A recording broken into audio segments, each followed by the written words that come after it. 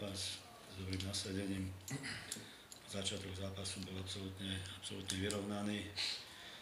V druhej polovici počasu už potom sme získavali tú hernú, hernú preváhu, ktorá pokračovala aj v druhom polčase. Sme mali výborný styl druhého polčasu, dali sme dva góly a prakticky to, to rozhodlo o zápase. Trošku poprehádzal aj zostavu, vypadol nám z zostavy, ale myslím, že na nových postoch hráči zahrali, zahrali veľmi dobre a splnili to, čo sme od nich očakávali a samozrejme Dôležité je to, že doma sme štvrtýkrát e, vyhrali za sebou, nezaváhali sme doma no, hráči v domácom prostredí.